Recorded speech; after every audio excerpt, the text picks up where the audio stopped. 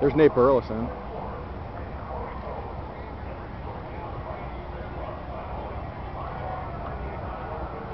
Kyle Van Vandenbosch just keeps signing away.